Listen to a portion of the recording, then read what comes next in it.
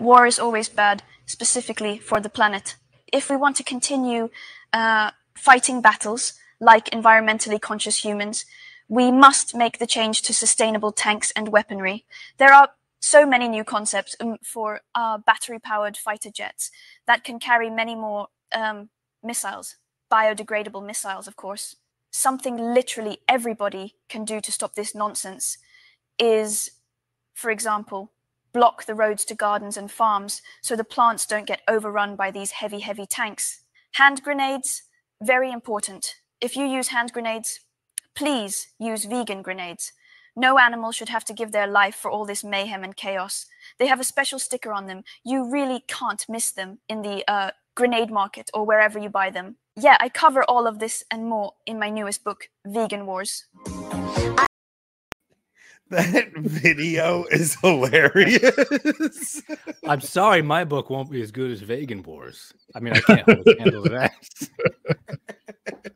Oh man! I figured that was the perfect video to start with because AI. people thought getting, it was me. But AI is getting so good now. Like that, right. I, the first time I saw that, I was like, "Is this real? There's no way yeah. this is real, right?" Uh, we should make clear for YouTube that that was not real because the last time okay. we played a not real vid video, Anthony, we got taken down. That is true. Yes, that was that was a, a real okay. video. I was um, I I saw a clip of that a couple yesterday maybe, and I was wondering for a minute, like, because it sounds like something she would say. AI, they have the voice stuff down really good, man. If you yeah. have enough audio of a person and you put it into that thing, I mean, there's probably enough audio of us now with our podcast that they can. I'm just a... glad no one in the world is going to want to hear more of your voice. well, okay, so Daniel O'Connor coming back for a second time, which Thank I can't you. believe when I when I hear a person's willing to come on a second time, it's pretty. Hey, I'm, I'm gonna start. Sh- I'm gonna start auditioning for my third time here tonight. We'll see. Dude, you have an back. you have an open invite to come on anytime. You're, yeah, that show we did last time was such an interesting and good show, and you were still in the middle of writing. And I begged you to come on because um, I had heard some of the things you were talking about on your show, and I just thought they were so interesting. I'm like, Daniel, you got to come on with us. I want to talk to you. I want to talk to you. And I pestered you enough to get you to come on. Well, we thank a- you for doing that because I wanted to always, and that was just like I was putting this indefinite pause in almost all all my stuff because this because writing this ridiculously large thing just took it took a toll on me. but but yeah, now that it's done, I'm I'm happy to be back on. How long yeah, did you, it take you to write such a long book? Um Co- lots of lots of coffee and God's grace. Those are the only two things you need: coffee and God's grace. All right, before before we get into questions here, we're uh everybody please hit like, subscribe. You guys know the drill. Everybody does that. Also, um I there's a lot of new subscribers to the channel. So what I did was I went through all of our all of our videos and I pulled out a sample of um probably like the best 10 that I thought were good starter videos for anybody just introduced to our channel. Huh? I think it's 20 videos. 20 video. Okay, so the I picked like the top 20. But if you go to it, I I called it um AB starter playlist or something. It's the best the ABCs of. of AB. It's what you should have called. Yeah, it. it's not, it's not like the, the, the best of or or the starter pack or something. I don't know. But if you go through our playlist, you'll see if you if this is your first like your first checking our channel out, it's a really good list to start on. Um, and then also we have a local. So what we're going to do here is we're going to talk with Daniel for about 45 minutes to an hour on here, and then we're going to jump over to locals and we're going to talk about. I want to talk about um, Israel, Palestine, and Christian Zionism, and kind of some topics that YouTube wouldn't be crazy about. So that's what we're going to do after this. You guys can come check us out, join our locals. Um, Daniel, yeah, since the last time we talked, you yeah, there was, I wanted you to come back on in between, and you were like, I just can't. I'm so buried. this book really took the life out of you, right? Oh yeah. I mean, it was it was the spiritual warfare. I had to wade through demonic stuff knee deep as I was writing part four of the book. Just uh, with and and praise God, I was protected by you know I took the the right measures to protect myself, daily mass, daily rosary, all that. So the uh, it didn't get it didn't get particularly dark personally, but just the struggles of getting through this and wading through all this stuff, which really hasn't been exposed yet from a Catholic perspective, which was the pro- which was largely what inspired me to write this. Is that there's been uh, some really solid evangelical Christian exposés on this deception, this diabolical deception. Some really good Eastern Orthodox exposés on it. A number of Eastern Orthodox priests even have written very well on this, but there's been almost nothing from the Catholic perspective, pointing out how diabolical this is, which is weird because as Catholics, we have by far the strongest case against aliens, even with, with the magisterium and and and the popes and uh, sacred tradition. It, we have the by far the best argument. So I Not wanted to get that- everything attacked, everything dealt with in that one book.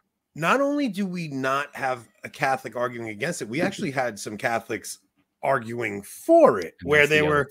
Yeah. where they were trying to because I've I've come across this a bunch where even people I like, I mean, I think even Eric Sammons said it. He said, uh, I'm not saying there's aliens, but if there was, it wouldn't contradict my faith. And, and and I think almost like people were were setting it up like, well, guys, don't worry. If if we find out there's aliens, you still could be Catholic. But it's Mhm, to me, it's just such a preposterous idea mhm. and it all kind of stems from evolution and this idea that if life evolved on this planet it must have evolved somewhere else Right.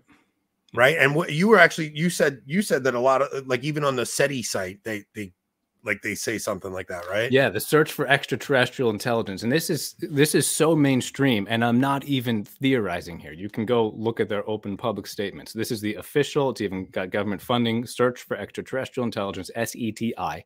It's the most um, it's the most renowned and and well funded of of the various alien programs out there. So they're trying to make radio contact with aliens, which is actually, if there were aliens, that would be the only really way to do it, which which you which we would have been guaranteed to do. And this is a whole chapter in my book. If there were aliens, we'd basically be guaranteed to see them with electromagnetic communications millennia before uh, actual physical contact, which is one of a thousand ways we can prove there's no aliens uh, out there or here.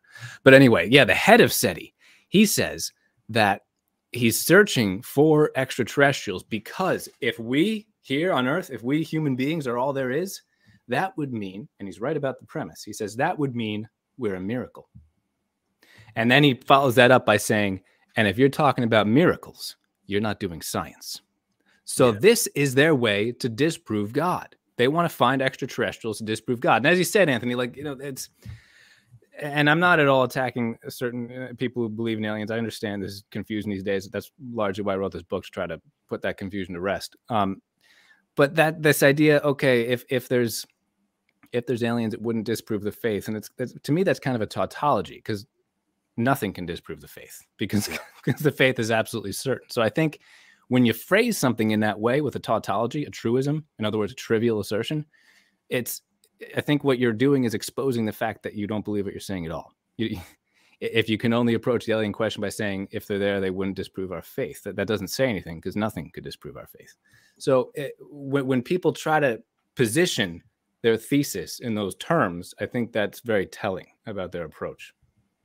did you get into um project what is it blue beam or anything like do you discuss that in I did not, and I've I, I was I was debating for a long time whether I should have a chapter on Project Bluebeam, and I decided against it just because um, it's not exactly a short book as Yeah. it is, and uh, that's shrouded in a lot of debate as to what's real and what's conspiracy, and, and I just didn't want to try to settle all that in here. But that but that it's very possible indeed that there is this that a lot of what is being seen is not simply demonic. I think this is a mix of demonic deception and uh, government psyop. So those things that we can't chalk up to demons, and I'm not, you know, I shouldn't even say chalk up. It's not like I'm using this as an ad hoc explanation. What I, I people have said, why would you use that as your premise? It must be demons. That's not my premise. That's my conclusion. yeah My my premise is I'm going to follow the facts wherever they lead to, and what they lead to every single time from every angle you approach them intellectually and in light of faith, both.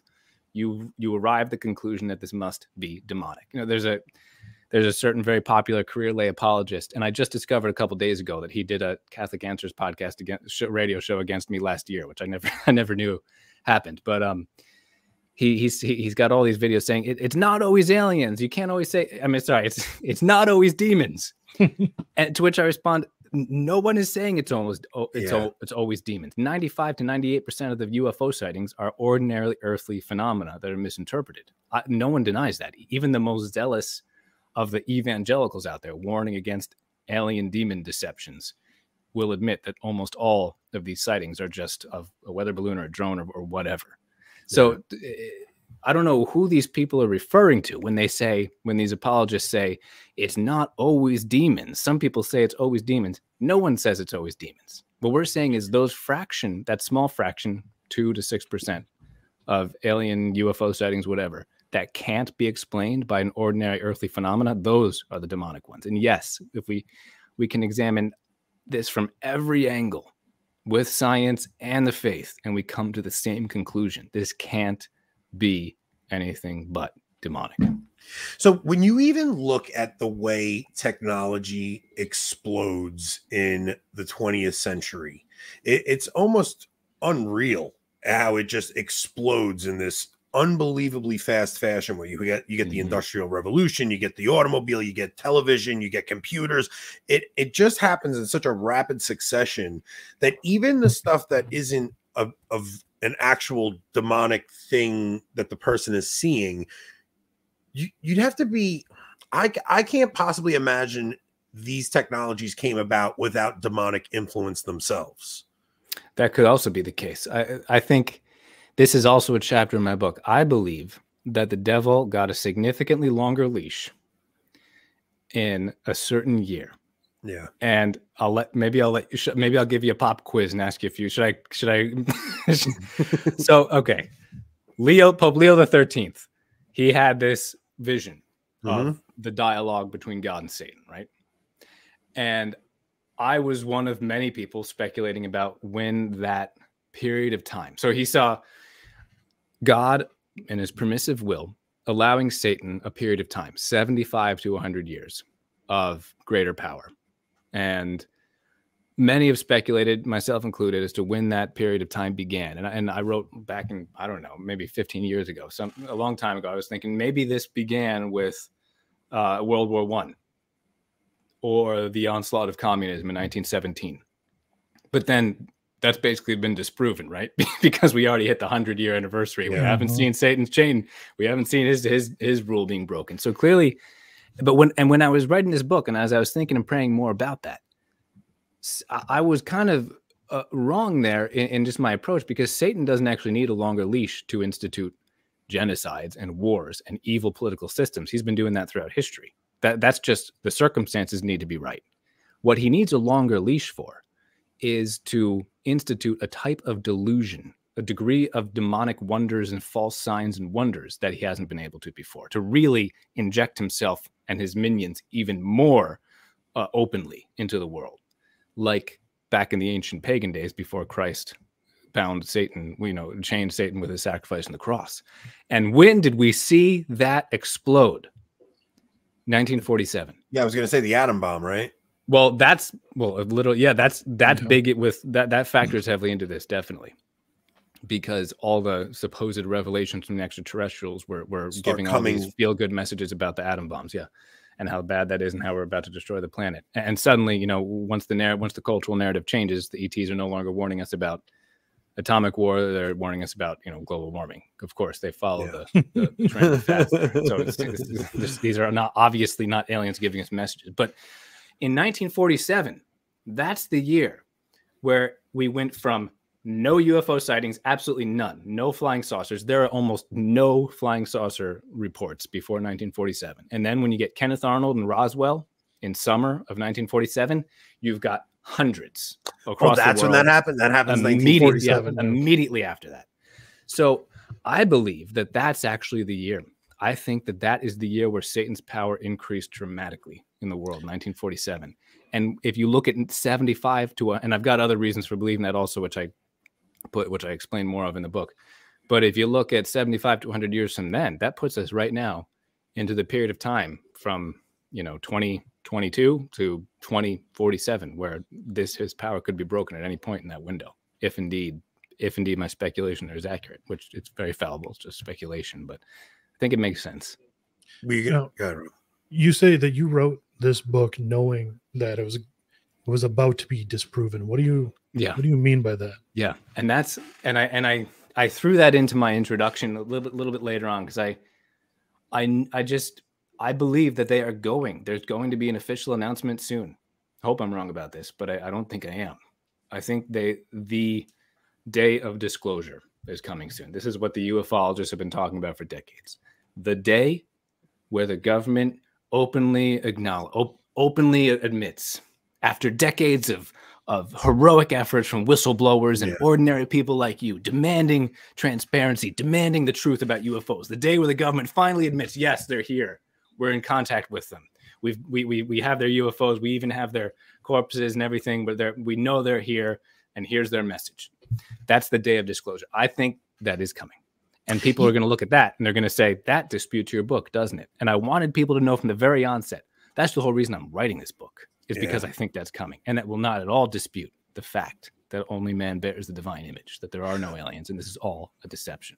Well, that's how that's how you know it is part government psyop too, because right. even the way they've been, it's so funny. Like every time it's really funny because every time there's some crazy bad thing happens in the administration, you get uh, you get some guy from the CIA or the intelligence agencies comes out and says, "Oh well, I saw the UFOs," and then all of a sudden mm-hmm. the whole news is covering the stupid UFO story, and then the government, somebody else from the government will come out and they'll say, "No, no, no, no, no, no, this guy's crazy. He doesn't know what he's talking about," and you could see the seeds of a government psyop being mm-hmm. dropped in there it, it's pretty it's pretty wild when you yeah when you they're suddenly starting to realize how useful this is.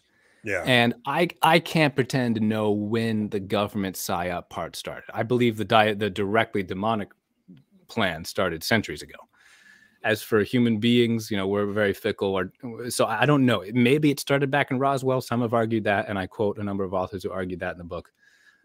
It may be more likely that it started more recently because maybe somewhere in the last several years, they realized how useful this this lie will be in order to enact their plans. You know, with the the, the last tyranny didn't uh, give them all the opportunities they wanted to institute their their agenda, which I won't even name here because I in my last video with Mark Mallett, I like I, I dared to say the word that's it's TGR. The, the, there's the abbreviation for it, and then I got this. We got this big sign at the mm. bottom of the video. Oh, Here's really? the real truth about the you know what yeah, reset. Yeah, yeah, but uh, so I can't even say. But but the point is, we know that they're up to no good. We know that they're looking for the next excuse to institute the greatest tyranny the world has ever suffered under.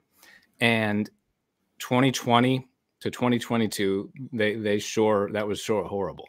But that was a dry run for what's coming next, and they're looking for the the excuse for the next one. And and I believe World War III is coming. That's going to give uh, one opportunity.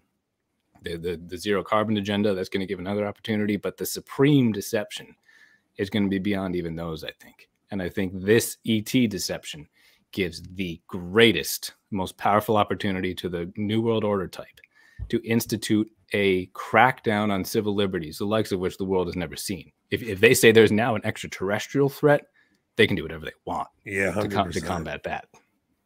And and the thing is, what we're dealing with with AI in the mix with this whole thing because. Mm-hmm they now have the te- they now have the technology to i mean you can do it from your phone with augmented reality and make something look like it's there that's not there mm-hmm. like legit make it look like something is there that it's not so between the the capabilities they have with artificial intelligence to completely fake I mean, you you look at even the, the whole situation in Ukraine. They were playing video game footage and telling us this was real footage. Right. That is right. how good CGI is at that mm-hmm. at this point, right?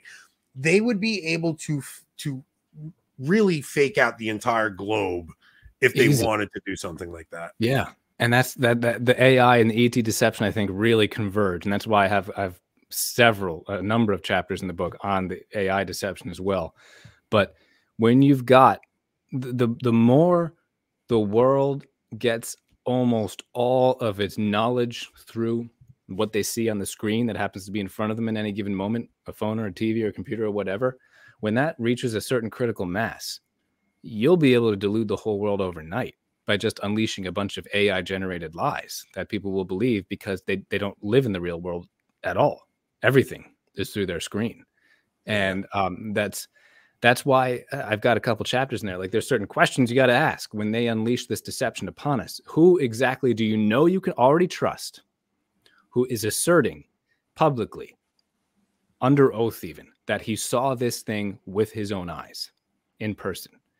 You've got to pretend you're on a jury and that someone's life depends upon this.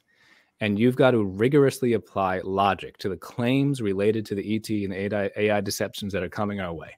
Who exactly do you know you can already trust is claiming a direct physical experience with something?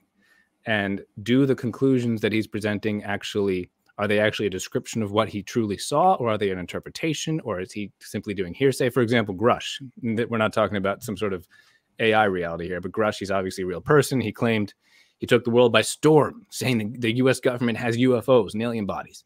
And then what did it suddenly, when, when you actually look at the fine print, he never saw anything. He is pure hearsay. All this stuff is hearsay if you actually dig a little bit. And that's going to be true with the day of disclosure itself, even. That'll also, uh, we'll be able to uncover the lie eventually, but it's going to be very hard at first. When did this whole um, book get put on your heart? What? How long ago was it? What was there an event that happened? Almost that- three years. Yeah, I keep trying to mine my uh, my memory for the particular moment that that realized I, this is a battle I've got to fight. Um, and and it, it was uh, almost three years ago. I know because because that's when I started really researching and writing this. And I think I wrote my first public article against aliens in like, I think it was early 2021. But um, when when I noticed how much this was infiltrating the church, because you know the world can succumb to all sorts of garbage, and and I and I weep over that and pray for the world. But what really gets me is when not only the church at large, but Orthodox Catholics start succumbing to these deceptions. That's what really breaks my heart. People who really should be knowing better suddenly, because it, it, it's like adultery, is what it is, and that's what the Old Testament, you know, that that's the ultimate um, allegory for even ancient Israel's uh, idolatry. It's like it's like a, a faithless bride. Yeah. And that's what I believe is happening when Catholics start wondering, wow, maybe there's all sorts of other churches out there. Maybe Jesus is just one incarnation of God. Maybe the Virgin Mary is just one of the many mothers of God. And this, I hope this sounds blasphemous to you because it is. But this is what the so-called Orthodox Catholic apologists are now saying. They're saying, "Oh yeah, that's fine," and then they've got chapters and chapters and chapters saying why that's fine. And that, to me, that's adultery. You you just committed uh, like adultery against God because you, you are starting you're you're wedding yourself to all these ideas that are so far into the gospel, so far into the faith, and it's not just about the great deception coming. It is about that. It's about what you do to your faith here and now it's what you it's how you undermine your faith here and now. And how you water down your own recitation of the creed itself at mass when you start wondering if we're just one of all sorts of other uh, humanities or, or intelligent civilizations. And our church is just one of innumerable churches spread throughout the galaxies. And Jesus is just, and this is what the ET revelations are saying. I got chapters in this as well. They're, they're coming down and saying, okay, so Jesus is the incarnation of this local universe. And there's actually a few other million universes, and he's got several uh, dozen under his charge. But then there's actually a million other incarnations, most of them much higher than him. And this is this is this like already Mormonism. infiltrated the church I was, hugely. I was just gonna say that sounds like Mormonism almost. It is, and Mormonism is one of many uh, diabolical ET revelations, and there's so many others. And many of you know Mormonism explicitly hasn't infiltrated Catholicism. Well, so, uh, implicitly maybe it has but there's a number of diabolic blatantly false private revelations uh, from the either from the extraterrestrials or about the extraterrestrials and they are infiltrating the church and and no one is trying to stop it and I'm, that's what i'm trying to do with this book. So that's what really you know sorry to, i'm droning on again because I'm, I'm very zealous about this as you can see so i got an infinite number of things i could say here but you asked me about what really got me onto this and when i started seeing um, am I am I breaking up? Can you guys hear me? Did yeah. I suddenly start? Freezing? Yeah, no, you're you're, no, still good. Great. Okay, because I'm freezing on my screen, but hopefully I'm still coming through with my audio at least. When when I saw, for example, like Pope Francis saying baptize a Martian or something, yeah, and and I saw that Vatican nativity scene a few years ago, which would look like aliens, and and I just started seeing more and more apologists talking about how this is fine, and and and just it reached a critical it reached a breaking point at some point about three years ago and then even seeing obama and this is back to the world seeing obama say that once we discover extraterrestrials it'll make new religions pop up it, it seems like this great deception in the world and the church is brewing yeah you got you had obama saying that about the aliens and then you have that uh what's that guy harari the Yuval yeah. Yuval Harari. He's, Yuval he's, Harari. He's, he's talking yeah. about how the AI, the AI is going stuff. to it's going to make new religions because we have this new new intelligence that can give us new scriptures and things like that. You really do see a very tight uh, association between the AI and the alien thing. Mm-hmm. What? So now you're now the last time you were on, we talked right off the bat in the Catechism it does say man alone bears his image. So that's the right. title of the book. What what were you able to find back in like the fathers things like that? Like were these things actually pondered before? oh yeah. Huge. Oh they were. And that's why i want that's another reason i really want that's one of the things that motivated this book is all these catholic authors were, were arguing and there was an article on um what's that garbage what's that garbage uh yeah, so okay, so someone just put the name on there that I was avoiding saying because I tried to avoid calling no that name. so there's the one that has done apparently Catholic Answers radio shows against me that I haven't listened to. I, I haven't listened to because I didn't know they existed yeah. until like a day ago. And listen, but, even if they, but that even if Jimmy Akin disagrees with you on this, it doesn't. It, this, is, there shouldn't be any real tension there. I mean, yeah. you, you, he's wrong. Uh-huh. He is, yeah. You know, and, and, and, he, and, I'm sure I'm sure he's a much better Catholic than I am. I'm just yeah. We're not making any ad hominem attacks. Like, we're I'm just saying, yeah. He's, I'm sure just... everybody who says there's aliens is way better better Catholic than I am because I'm I'm I'm a complete knucklehead. But I I do happen to be right on this, and it's nothing special about me. It's just a really easy. Oh, your side. You got to tell me. I've got the whole Bible on my side. I got all the popes on my side. I got all the saints on my side. I like a, a kindergartner could have could have done this as long as could have written this book as long as he did the research all I was all I'm trying to do is compile together what way smarter and holier people than I have yeah. said. And that's my so what uh so yeah the the catechism thing i i did a video on, on the catechism and aliens and it got a good number of views and, and some people looked at that and have completely mischaracterized my approach as saying he just rejects aliens because of this one paragraph in the catechism that was just one argument I decided I'd make a YouTube video about. That's that's they're they're talking paragraph three paragraph three fifty six. I think it is, if I recall correctly. Um, I got the quote somewhere here. It's either three fifty six or three sixty five. I always forget, but that's one of oh there it is three fifty six. Perfect. So that's that's one of about a thousand arguments I have against yeah. aliens. It happens to be one I made a YouTube video against. So some people seem to think that's my whole argument. In fact, that's a very small part of it. But yeah, it's a good. It, it does rule out aliens. This paragraph, if you if you submit to it, which we all should, says of all visible creatures, only man is able to know and love his creator. So and what and here's something I, I suspect most people might just know. There's a certain uh, punctuation mark that comes after that, and that's called a period. And that, that, means that the thought that was just presented in that sentence stands on its own. It's not contingent. Yes, there's always context. That's always important to consider. But the teaching contained in that sentence is not contingent. It is not mitigated by what follows. And I'm sure I won't get into all the details sufficiently in this video here. So just understand that I've got this, I've got this fully uh, described in part two of my book. But what that says is that visible of all visible, meaning material, corporeal, of all material creatures, in other words, other than angels, only man. And what is man? Man is a descendant of Adam and Eve. Only descendants of Adam and Eve are even capable.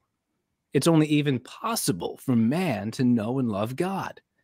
If there were aliens, and by aliens I mean incarnate, extraterrestrial, intelligent creatures, if there were aliens, they could know and love God by yeah. mere by by virtue of the fact they have reason. That is also Catholic teaching. It's actually Catholic teaching that God can be known and therefore loved on based on reason alone. A lot of Catholics don't realize that. They think, "Oh, faith is just a gift. I can't I can't argue for God at all because it's just you just have to have the gift of faith, whatever." And that that's false. You can actually conclude with certainty you, you can actually know God with certainty. This is also in the Catechism somewhere, but I think it's quoting the First Vatican Council.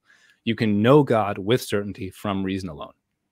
Yeah, if you can, if you can contemplate your origin, mm-hmm.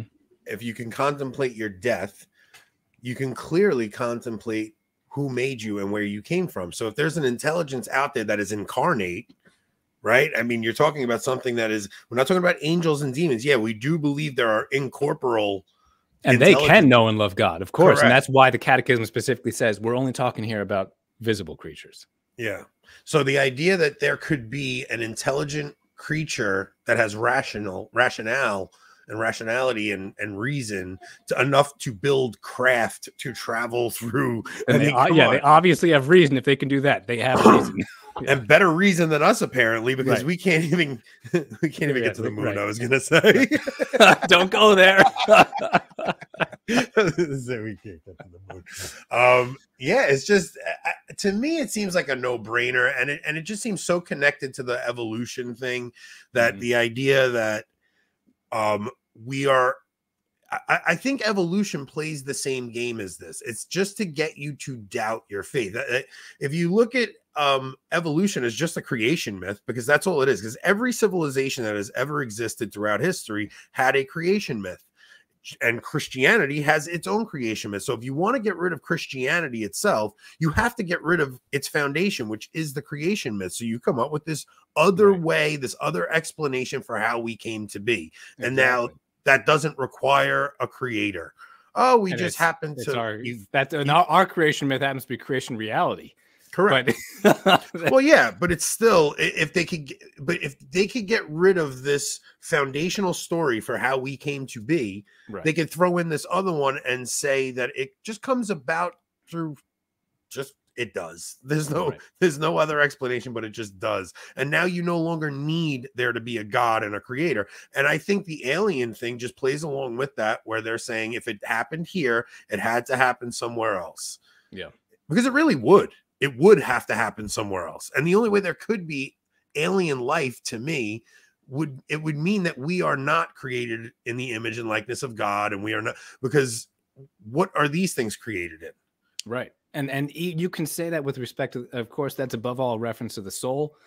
God is father son and holy spirit. Our soul is intellect memory and will. So we see the trinity reflected in our soul. That's the primary way we're made in the image of god but that's not the only way we're also and this is very clear in, in john paul ii and and there's other quotes in the book i have from other sources that make this very clear we are also made in the image of god in our bodies the human body is not some yeah. random way of making uh, in, of making a visible, that is material, corporeal creature in the image of God. It's the only way. This we we love we we Manichae this Manichaean heresy where there's you know spirit and matter and they're fundamentally opposed and and it's all about just rising above matter and letting spirit uh, override matter and reject it. That that's not Christian. That's not Catholic. The Catholic understanding is we bear the image of God in both body and soul.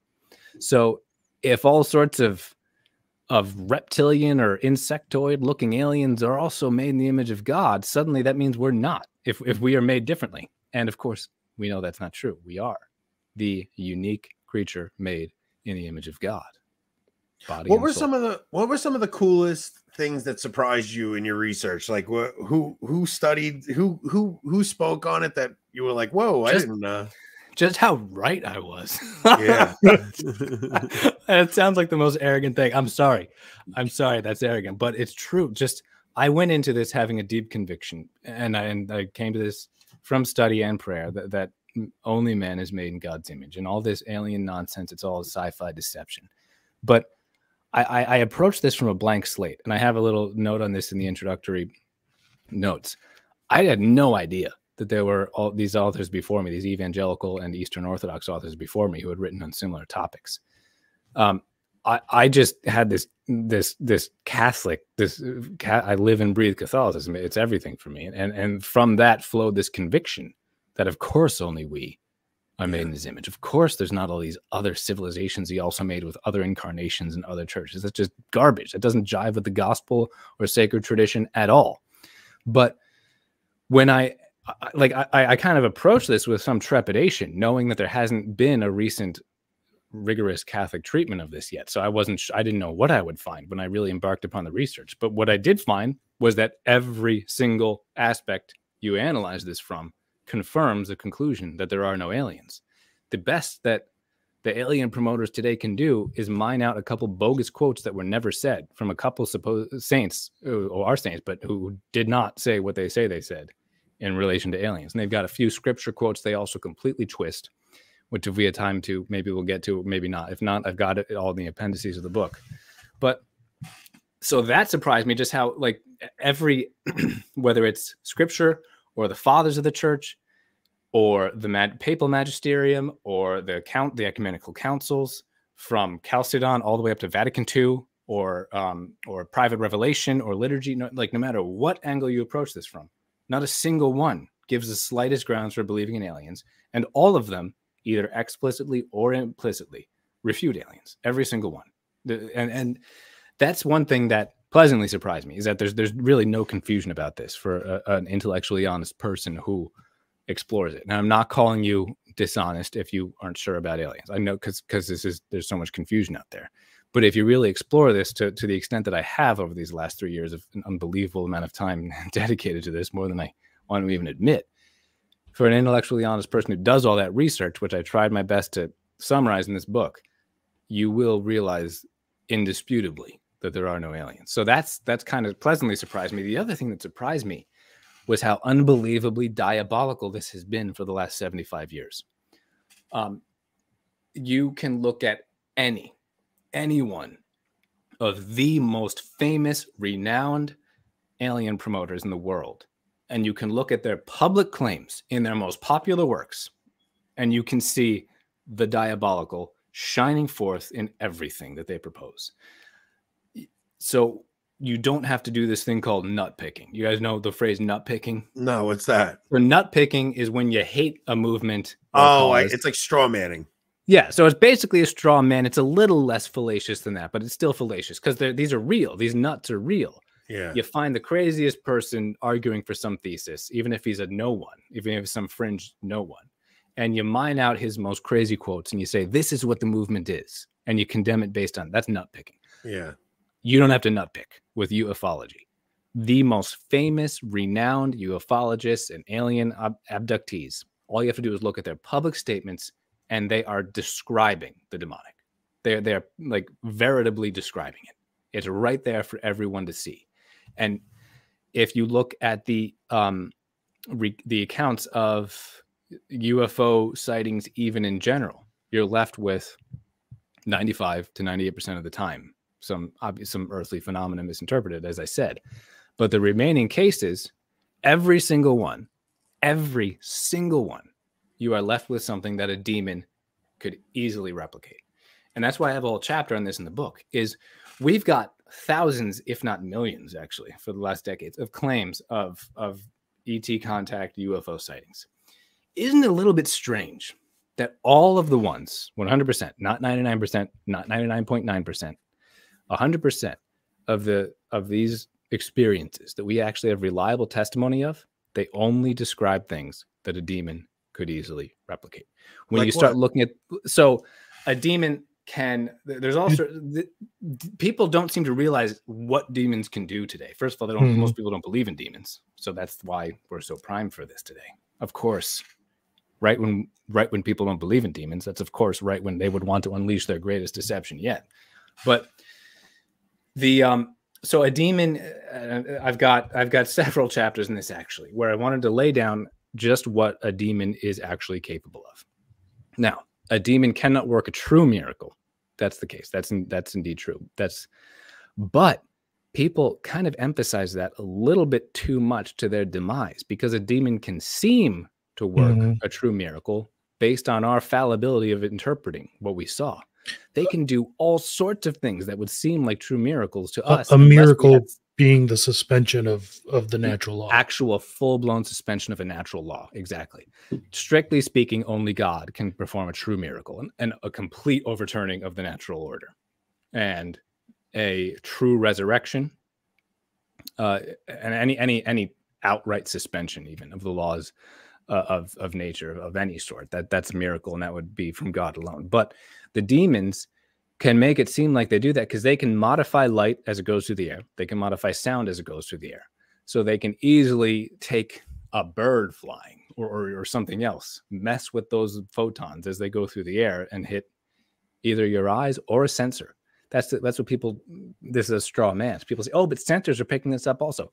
Sensors receive uh, input from light and sound just as our eyes and ears do. Of course, if a demon's messing with something as it's shooting through the air, it's going to interfere with the and sensor I, just and as I think we all know demons can mess with technology, right? And tech, they they can mess with the they can mess with the uh, um, and I actually have a little section on this also that I'll have to delve more into in a later work maybe, but they can mess with the the flow of electricity going through digital circuitry. And that's why I think this weighs big into the AI deception as well. There are a couple domains where the demons have especially potent abilities. The atmosphere is one of them.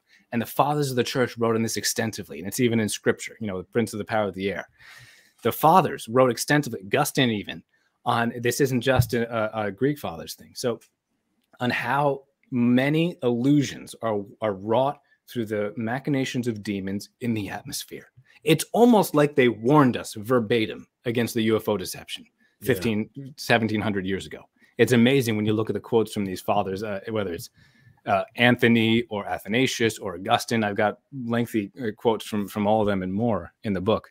But they can they can work all these marvels in the air because it's ephemeral the more ephemeral something is, the less incarnate it is, the more power demons have over it. And and also the the more shrouded in darkness it is. UFO sightings, the vast majority of them, and, and yes, they happen in the daytime too. It's not like demons can't do anything during the day. But at night and in the atmosphere, that's the most ephemeral and it's also where the demons have the most power. So what do you see with UFO sightings? They they increase dramatically, and, and I drew from a number of studies that have extensively looked into this. They increase dramatically at nightfall. And then once people start going to bed, going to sleep, uh, naturally, of course, just statistically, they decrease. And then guess what hour they suddenly start increasing? Let me just let sunset. you guess. Sunset. Well, sunset is when that's the first increase, and then they they decrease when people start going to bed. When do you think 3 a.m. right? 3 yes, you're right. Ex- yeah, and, 3 a.m. And you didn't even read you didn't read the book yet, right? no, no, but it that's the that's like the witching hours. The that's, when, that's when everyone well, wakes up. That's right. Nightmares and all. Yeah. And then um, UFO sightings suddenly explode at 3 a.m. Well, we also have these stories in Exodus where Everybody the magicians knows. of Pharaoh are able to manipulate things, right? right? We have the story of St. Patrick where he's going up against the druids and right. they're able to perform these illusions that seem to be like miracles and things like that. So mm-hmm. obviously they're able to do these things. Nick said that Aquinas said part of the demon's punishment is that they have to be in our atmosphere, according to Aquinas. So part of demon's punishment is to be in our atmosphere, according to Aquinas. You know, mm-hmm. and it it's probably no surprise that it's happening more and more when we have fewer and fewer blessed church bells ringing and like actually blessing the atmosphere. There you go. Yeah. The less protection we have, the more the demons can do. And and that reminds me to throw out there. I am not at all encouraging any devout soul to be afraid of this. I'm I'm sounding this alarm for the sake of those who would otherwise wander into these domains. You've got if you're a devout Catholic seeking out the protections that the church has given us and, and trusting in Jesus Christ, you've got absolutely nothing to fear. So don't do not let anything I say cause you to become anxious and fearful and worried. That's not my goal here. My goal is to warn those who would otherwise succumb based on their sci-fi based curiosity. Curiosity yeah. killed the cat, and it kills many souls as well. Mm-hmm. So okay, so um, so you're saying almost all of these accounts are very similar, and they all yeah, and and and I I was just getting warmed up. You know, sit back and, and get comfortable because I can go on for hours about this. But really, and I'm I'm joking. I mean, I could go on for hours, but I won't. But real quick, it's not just that they can mess with light and sound as goes through air. So they can do three fun. There, there's several things they can. There's several categories of their powers that I go through in the book, but I, I would simplify it into three basic categories. They can mess directly with our senses. They can mess with light and sound as it goes through the air. But there's also a third category that, that too, too few people acknowledge. They can actually temporarily assume a corporeal form. So if they assume a corporeal form, they're not truly becoming incarnate. That's outside of a demon's power. So they you, you can't accuse me of begging the question here, circular reasoning, by just saying, "Oh, I'll just claim any alien is a demon." No, I acknowledge that there's a number of things demons can't do. They act, they can't leave a corpse that we could actually study in a lab that that would that would endure throughout time because because they can only temporarily assume a corporeal form. They cannot truly incarnate themselves. That's beyond their power. But we have no evidence of an actual alien body, just a bunch of claims and hearsay and garbage that will yeah. never be proven because it's all a lie. But they can temporarily assume a corporeal form. So this is what people don't get is if a demon has temporarily assumed a corporeal form, and we know that's within the power of the angelic nature, which demons have angelic nature. They're not angels anymore because they rebel, but they have they retain the capacities of that nature because they still have that nature And of course, we know angels have that because they, in the book of Tobit and the three, three angels in, in uh, with Abraham, a number of other cases in the Bible where angels assume a corporeal form. So a demon can do that as well. And if a demon has actually assumed a corporeal form, which doesn't mean that it's literally become incarnate, it just means that it's it's it's controlled. It, it's decided to control. Its will is exerted over a certain amalgamation of molecules, and it's arranging them in such a way that there's really something happening there. If that's happening, and it'll only be temporary, which is why these phenomena are always fleeting. They never have anything enduring that we can study. But when that happens, naturally, anyone present would see it because it really is there. It's just not a real physical being. Yeah. It's a corporeal form that was temporarily assumed by a demon. Now, yes, admittedly, that requires a relatively long leash for the demons. Usually, throughout most of of the history of Christendom, they haven't been able, they haven't had the leeway from God's providence. Everything demons can ever do is only because God allows it.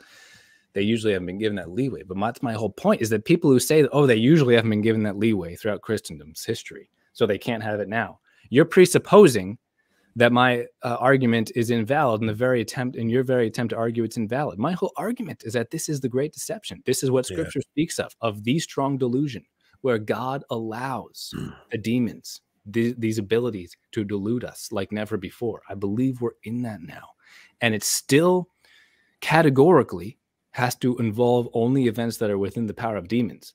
And it just so happens that everything, everything in the ET UFO phenomena that we actually have evidence for is within the power of demons. Yeah, that's pretty wild. What were were there any? Oh, wait, actually, there was one question somebody asked, right? Can can yes, demons can also be. manipulate? So the demons, so the ima- imagination being you know the phantasms and the corporeal in in the in the neurochemistry basically is one way to put it. They can mess with that. They cannot directly access your mind or your will or your memory. Now, the memory is, is debatable. So that some strict Thomists do not pin memory as a faculty of the soul. I do. I am a Thomist, but I, I do believe that memory is a faculty of the soul and that even that is memory itself is outside of the power of demons. So intellect, memory, and will. Uh, even the devil can't directly inject himself into intellect, memory, and will. Those are the strict domain of God. But because we're incarnate creatures, there's a lot of stuff going on in our neurochemistry that is fundamentally physical, but it's a very proximate effect of intellect, memory, and will. And the demons can mess with that.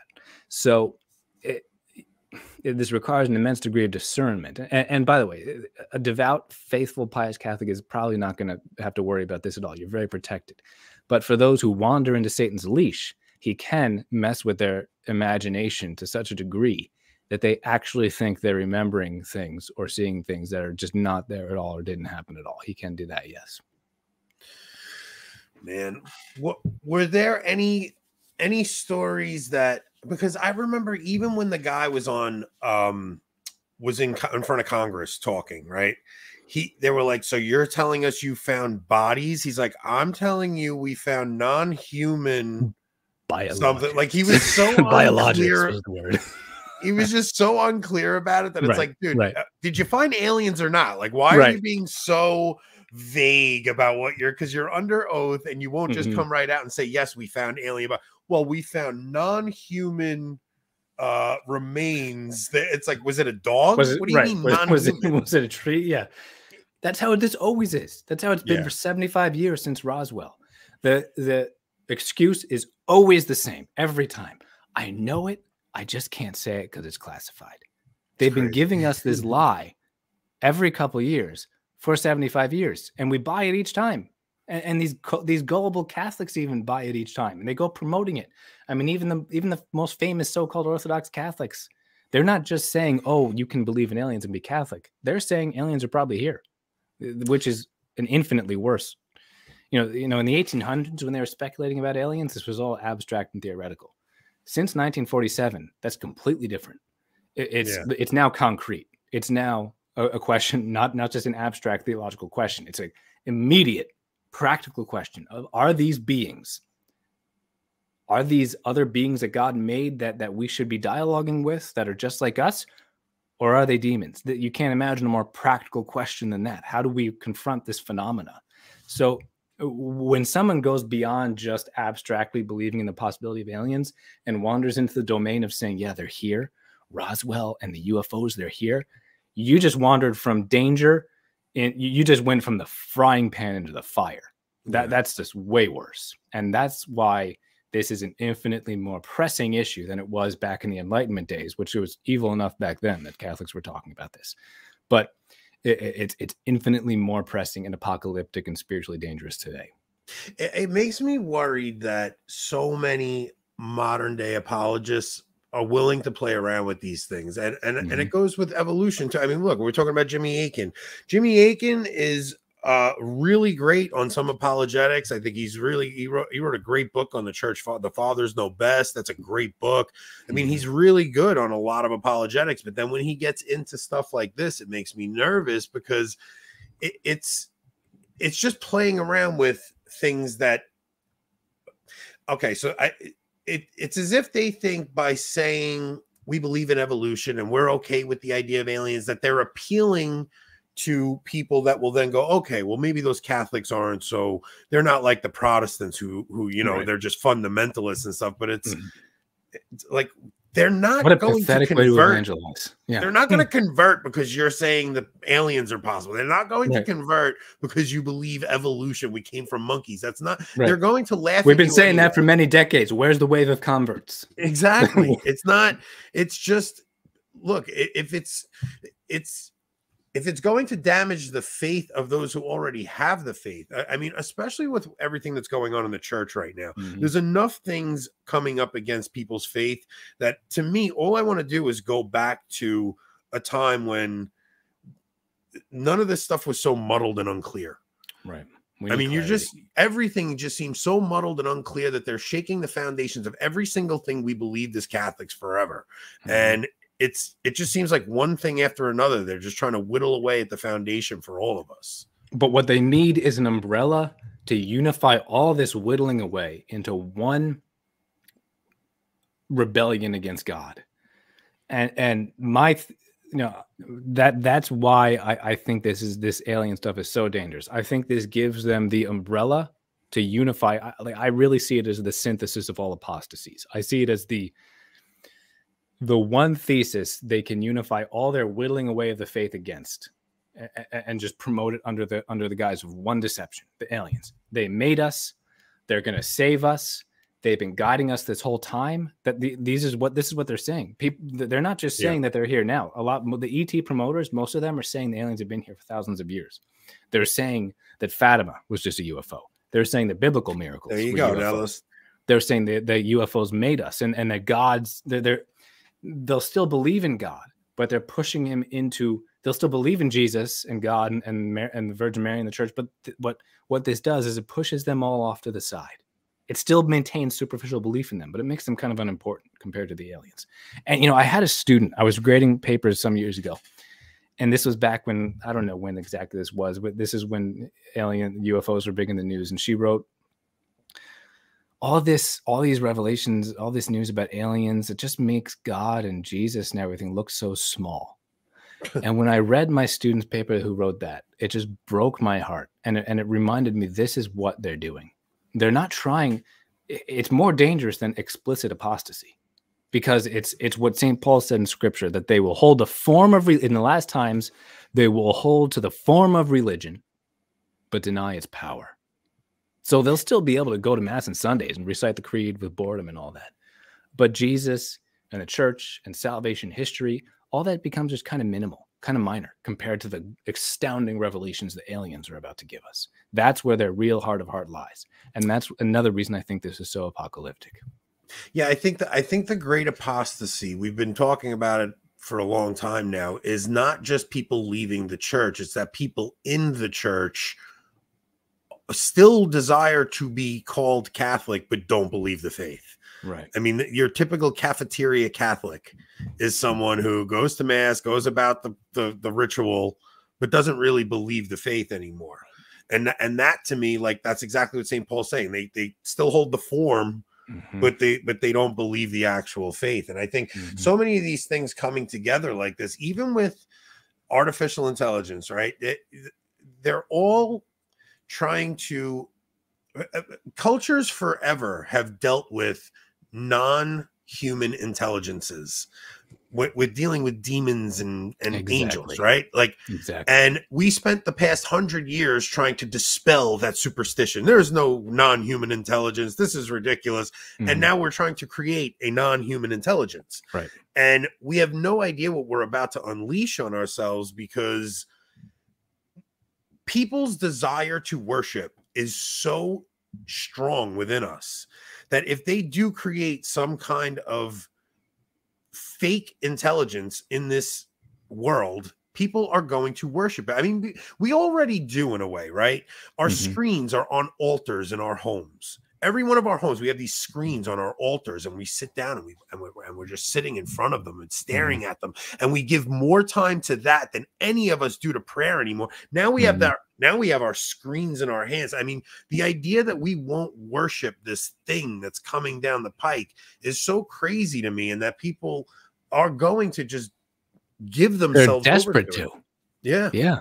They're already desperate to. They're desperate for something to worship because we become pagan atheists. And man is by nature a religious being. He's actually, man is by nature a religious being before any other definition of his essence. He needs to worship. And we haven't worshiped as a, as a culture for many decades. So, this idea of not, I'm glad you brought up that phrase, non human intelligence, because that's actually the more broad deception that even the alien deception fits within. Now, I, I, I focused especially on the ET UFO deception because I think that's the biggest part of the NHI, non human intelligence deception. But it's also this idea of truly human or truly rational AI. That's going to be the second biggest aspect of it. But there's even more. Birds of a feather flock together. The, the, the UFO promoters, the ET promoters, all of them, without exception, I've found, are all also obsessed about the pos- about the emergence of sentient AI. But there's even more. There's even this push for the notion that animals, there's irrational animals, are also persons, are also rational, just like us. We just haven't yet unlocked the key to their communication. And this is yet another deception under the same umbrella. I, you know, I would have doubled the book's length, so I couldn't do uh, too much more on it. But I do have a chapter on this in the book, and it's it, it ties. So the biggest, the most well-funded uh, project right now to prove that animals are also intelligent like us and, and they communicate like us. We just haven't unlocked it yet. It's also called, guess what? SETI. It's not S E T I. It's They're not, not, the search even for trying anymore. They're not. No, they're they're just telling us that this is all the same diabolical deception, but it's C E T I. It's the Caucasian, and I'm, I'm caught uh, Caucasian, something like that. Whales and dolphins. Search for uh, uh, the search for Caucasian. I'm but I'm butchering it, but it's the Yeah, search for smart dolphins. yes, and they've got tens of millions of dollars in funding and they are convinced that with ai being able to decipher the language of whales we are going to be saved by the wisdom of the whales. It, it- this is real. This- It's like this is what Star people- Trek 4. yeah, exactly. It's eh, eh, humanity is desperate for something other than us yeah, who understands us because we don't believe in God anymore, because we don't believe in the angels, because we don't believe in the communion of saints, because we don't believe in heaven and purgatory and hell, because we don't believe in, in private revelation apparitions, because we don't believe in any of that anymore. Even most Catholics, they're, they're they're they're closet deists, unfortunately, because they because people don't believe in any of that anymore. They find the outlet for this fundamental need of the human heart for dialogue. They find it in these sci-fi deceptions about non-human intelligence, and that is why this last deception, I believe we're approaching the great deception, obviously, it mirrors the first deception. And I've been writing about this for a long time. The first deception was a non human intelligence, a speaking serpent. And instead of saying, Begone, Satan, Eve started dialoguing because of her curiosity. And that is the exact same thing that's happening today. The, the, the serpent is not, assu- eh, the, the, the devil is assuming different forms, but he's still saying basically the same thing. Did God really say? Did he really say that? yeah. He's not even explicitly, he doesn't begin by explicitly overturning a dogma. He injects himself through the curiosity. Just hmm. as he did with Eve, so he's doing today. I just want one of my comments to end up on the main screen. These guys can't. And these guys can say whatever they want. Oh, thank goodness, because I got a lot more. I got a lot Um, more. we, we had a Now I question up there. We had a question up there, Rob. Uh, we have did you- two. Okay, go ahead. Um, we'll start with the the older one here first. Um, so this this uh, Colby saying that Father Garrigou-Lagrange said that the existence of undis- undiscovered life forms is possible, not contrary to the Catholic faith. Have you? Garrigou Lagrange said that it's not intrinsically abhorrent. He said, I can't remember the exact phrase he used, but I've, I've read that quote. He did not say it's not contrary to the faith. He said it's not intrinsically something. So he's Hmm. basically agreeing with those who said, yeah, it's ontologically, metaphysically possible that God could create aliens. I'm not denying that. I'm not denying that God, that this is within his power. I'm denying that he did so. And in fact, there's another quote from Garrigou Lagrange that specifically said he didn't, it, it's not clear how this could work with the faith. I've got it in the book. Um, it, would take me too long to find it right now, but I've got it somewhere in part two of the book where he basically said, no, like people are speculating about this, but it's not clear how that could make any sense with the faith. So it's, yeah, you'll find, and there's other quotes like that. And I've addressed every single one in the book. Yeah. That that's how you'll often find um, Catholic alien belief promoted at first. You'll find they'll they'll almost always start with an alleged quote. And I know the Garrigou Lagrange one is true. I know that's an actual quote. But again, he's not saying there's he's not saying aliens are fine with the faith. He's saying it's not. He's agreeing with a number of of theologians throughout church history who said it's not outside of God's power. Uh, he's not saying it's fine with Catholicism. But anyway, it's um you'll almost all Catholic alien promotion starts with some quote, whether it's real like that or mis- and misinterpreted, or whether it's completely bogus, like the supposed Padre Pio or John Paul II quotes, which are bogus. They did not believe in aliens. Yeah. But the the contemporary mainstream Catholic alien promoters, they based almost their entire argument on these bogus quotes, which I d- dedicate a lot of pages to in the appendices of the book, just showing we have no grounds for believing these quotes are authentic at all. I do have that Lagrange quote pulled up if you want me to read it. Yes, please do. Uh, he says, Some seem to be of the opinion that on other heavenly bodies, perhaps there are rational animals of another species than man. But this seems to be false. For the term rational animal seems to be not a genus, but the ultimate species, according to the principle of continuity. For the highest and the lowest order, for instance, the sensitive life, touches the lowest and the highest order, namely the in, inte- inte- intellective life. Hence, there is no conjunction of the highest and the sensitive life with the lowest and the intelli- inte- intellective life, except in one species, and this is not susceptible to either increase or decrease. S- Yeah, so that's is that the one that I have? In the, that's the one I have in the book, right? Yep. So that's Garrigou Lagrange uh, d- basically refuting those. So I, I go into every possible avenue here, but there's a number of theologians who have argued they've tried to sneak their way out of the fathers of the church and the doctors of the church and two popes magisteriums who said we can't say there's aliens. I mean, that's not the exact word they use, but Pope Zachary, Pope Pius X, uh, not 10th, uh, second, they both said you can't believe. It, it- he- they said it's abominable to believe in the notion of other men uh, on other species, basically. So what some theologians have tried to do, they've tried to wiggle out of that by talking, by redefining man, redefining species, redefining nature, in all these weird ways that that basically borrow from modern taxonomy, which which the popes were not speaking under the context of. They were talking about the traditional definition of man, which is either philosophical, theological, namely rational animal, or a colloquial, namely descendant of Adam and Eve, you know, human family. Those are the two basic ways of defining man philosophically, theologically, or colloquially. And they both converge perfectly in a way that refutes aliens. Anyway, Garrigou Lagrange was refuting those theologians who said, no, we can mess with the definition of species, biological species, Homo sapiens, which was this invention from the 1700s, by the way. And we can use that to conjecture, to hypothesize the possibility of, of men of a different biological species Mm, and we can try to sneak our way around the magisterial condemnations of aliens that way. We can sneak away from polygenism and the condemnations from Pope Zachary and Pope Pius second that way. And this completely fails in like three different ways. And I tried to, I actually had to remove one of the chapters in the book because it was too long and I, I couldn't fit publication uh, rules for page length. But I have it on my website and I have in the book where you can find it on my website where I refute this. But Garrigou Lagrange does it directly in that quote. He points out, no, we've got continuity in the hierarchy of creation here. We've got angels, which are pure spirit, invisible, incorporeal. And then we've got one species, which is the soul, in other words, man, human beings, which are the sole uh, creatures who have both matter and spirit and are intelligent, rational. That's what Garrigou Lagrange is pointing out here. This doesn't admit increase or decrease. There can't be all sorts of other other applications of this. There really can only be one incarnate species of rational beings, and that's Mm. us. And it's also. Catholic dogma because polygenism is a condemned heresy. It's also Catholic dogma that all men are descendants of Adam and Eve. So if you combine those two Catholic dogmas, you realize there can't be aliens. And this is why Pope Pius II and Pope St. Zachary, they didn't just say this is wrong.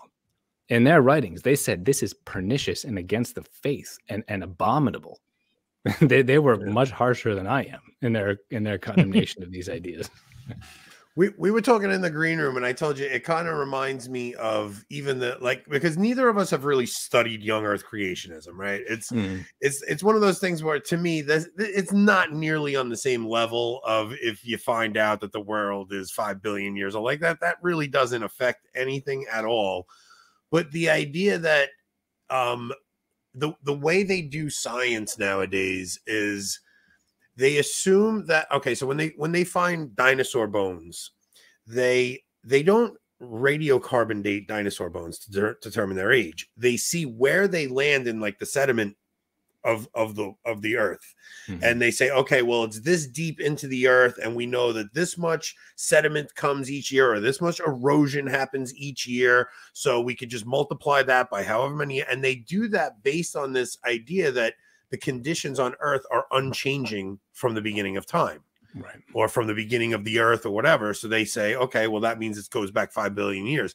But if there's this cataclysmic event like a flood, like a giant flood on earth, which when you watch even things like Graham Hancock's Ancient Apocalypse, kind of suggests that there was this global worldwide flood. You see all these Mhm. cultures around the world all have a flood myth, that that changes any kind of uh, data that you would think that everything was the same throughout history. No, now you have this event that changed everything and washed everything up wherever the heck it did. So now you really can't say that these dinosaurs are 60 million years old because they're this deep into the earth. Yeah. So that, it, that's and it fails for so many reasons. It, it- it's what what they fail to acknowledge or even concede is that a chain is only as strong as its weakest link. We've got a mountain of premise uh, uh, of hypotheses built on one single unproven premise, namely that radiometric dating is is is algorithmically consistent for millions of years, and it's never been proven to be algorithmically consistent beyond six thousand years. We've never verified it against another standard. And the, the example I always use is it's as if you were convicted of a speeding ticket for 100 miles an hour for a radar gun that was only verified to work up to one mile an hour. You would never be convicted of that in Yeah. court because any sane judge would say this is garbage. You can't, I can't convict you of a speeding ticket based on something we don't know if it even works beyond one mile an hour. But that's what they Mhm. do with all radiometric dating. So you talked about the sediments; those that's that's a type of relative dating. But any sort of relative dating, in order to have any meaning, it has to at some point rely on an absolute dating method. And the only absolute dating method is radiometric. There's nothing else. There's no other absolute dating method that has been used to date living things on Earth beyond 6,000 years. You know, any elementary school kid knows that you can find out how old some really old thing is by how? Counting the rings on a tree. We found all sorts of trees with four to 6,000 rings. Guess what we've never found ever? a single tree with more than 6,000 rings. Isn't that weird? Isn't that weird if, if you believe that we got all these billi- these trees that are tens of you know if you look online you'll find all sorts of claims of tree trees that are tens of thousands of years old. Read the fine print. Guess how every single one of those has been dated? Radiometric whether carbon dating or some other radiometric dating. It's the single unproven premise on which the entire facade of this idea that there's oh there's humanoid there's non-biblical man there's biblical man there's all sorts of of other primates that existed before us and that kind of had reason that's all garbage yeah, they and didn't. some people try to use weren't human. They did not have the faculties of humans. So, Yeah, and, so and there th- were uh, there were no living things at all i would say before 6000 years ago and that's i didn't get into that in the book because i know i'll scare some people away and it's you don't need to believe you don't need to believe be as hardcore as that- i am on that to realize there's no aliens but but it, it's true there, there They- we have no proof of any living thing more than 6000 years old they have a there's a catholic evolutionist who made a statement and he said yeah but we don't believe that god would purposely confuse us. So why would he, uh, you know, when when and, and he said that because they talk they talk about adaptation within a species and that, but I've heard that comment thrown out by Catholics at that point, and they go, "Well, why would God purposely lead to confusion?" It's like, well, He gave us a book Yeah. and a I'm not story, confused. so so why would He tell a story that's not re- yeah. true? I read I read the Gospel of Luke and I'm not confused at all Right. The Gospel of Luke says father to son, father to son, father to son, all the way from Jesus to who? Adam. And who's Adam? Is he the son of Mr. Monkey? No, he's the son of God. That's what that's what Luke says. He's the son of God, not the son of God like Jesus is, but like directly created by God. There's no, you know, people say, oh, well, maybe there's there's a few million year gaps in that genealogy. No, there's not. There's no contextual. There's no philological. There's no exegetical reason. There's there's no grounds whatsoever to put a hundred thousand year gap in there. It's father to son, father to son. Yes, there might be a couple grandfather to grandson or something like that, the Levitical marriages, but it never gets. You could never argue for uh, these tens of thousands of year old rational creatures based on that exegetical method It would never work. So I'm not confused at all. When you say God wouldn't confuse us, I, I agree. What God has said is not confusing. What but man confuses us all the time. And these wild ideas, we never saw them before the 19th century.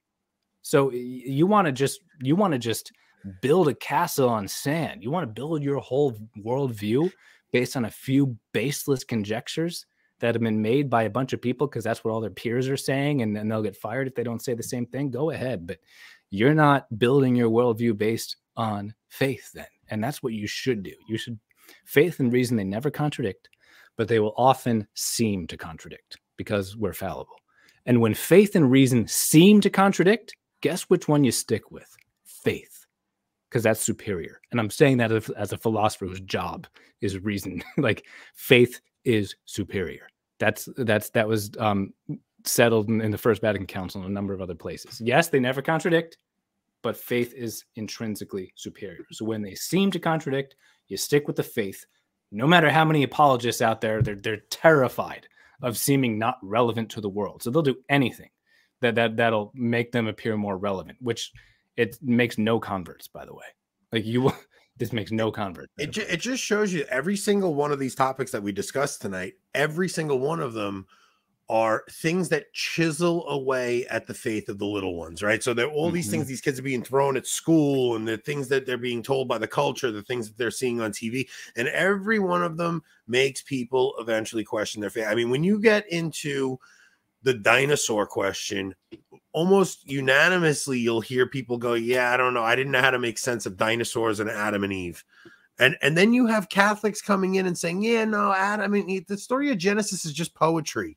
Knock it off. It's not poetry. I'm not saying it's a a scientific account, but it's also not poetry. It is Right. it is what actually and, and that's Pope. Pius, Pope Pius the Twelfth. He said in Humani Generis that it is a fact that Genesis recounts history in the true sense. You Yeah. can't, as as a Catholic and, and as a Christian, of course, but as a Catholic, certainly you can't write off Genesis as mere myth. It is settled that that this is history. How to interpret each verse is not necessarily always immediately obvious, but you have to approach this understanding that it is history. It really is. Yeah, that's a good point, Stephen. uh, Rob, do we have one more question? Because I want to go. We're gonna go over to locals, and I we. So wanna I'm get sorry. in- I I I just drone. I just got No, my was- soliloquies there, and I just was can't amazing. stop. I just, Were you- You're is it like is, is- it late already? Oh my goodness! It's, it's getting there. But York listen to me. When Like, when you see time go fast like that, that means it's a good show. This is amazing. So we're going to go over to locals, We- and we're going to mm-hmm. discuss. Well, not yet. I'll let you get to it. Hang on. I'm just saying we're going to get into prophecy, end times, the church know- crisis. We're going to talk good stuff. So someone brought up an interesting one when Daniel, when you were talking about when you think the the the more free rein of Satan started, someone brought up an interesting fact about that time frame that is relevant to events happening today. So wait, can I slip in one more thing about that that I realized I forgot to say in that regard? yeah, because I know you want to run to locals, but real quick. So not only is it Leo the Thirteenth division, but it's also Pope Saint Paul uh, the Sixth. You know, everyone always quotes his "smoke of Satan" remark, but you got to look at the whole quote. When he, why did he say the smoke of Satan has entered the church? He said that at the beginning of the 1970s. So he's clearly commenting on the years that led up to that. mhm. He said that this, uh, the smoke of Satan has entered the church oh shoot, I don't have it in front of me, but but because of the pagan prophets of science. Too few people ignore the rest of that quote. He's not just making some comment on, on liturgy or something. He's talking. he specifically said the pagan prophets of science. So they're using science as their false god to infiltrate paganism into the church. And that's how the smoke of Satan entered. And it was especially in the years leading up to that, in 1960s, that all these theologians in the Vatican, like Karl Rahner and Teilhard de Chardin in, in the years before the 60s, just a few years before that, started saying, yeah, there can be multiple incarnations, there can be all sorts of alien churches out there. It was in the years leading up to that. I think Paul VI saw the smoke of Satan entering into the church through this ET deception and other deceptions as well. Sure, I'm not saying the other deceptions aren't also valid, but this I think is is the supreme one: the pagan prophets of science. Yeah, so the I have the quote here that you have in the book. Oh, okay, he you're says, so good at finding those quotes. I wish I could find them as well. Through some, I had to throw this up. I had to throw this. They blinded us. They're blinding us with science. Through some crack, the smoke of Satan has entered the church of God. We trust the first pagan prophet we see who speaks to us in some newspaper, and we run behind him and ask him if he has the formula for true life. Doubt has entered through the windows that should have been open to the light. Science. Science.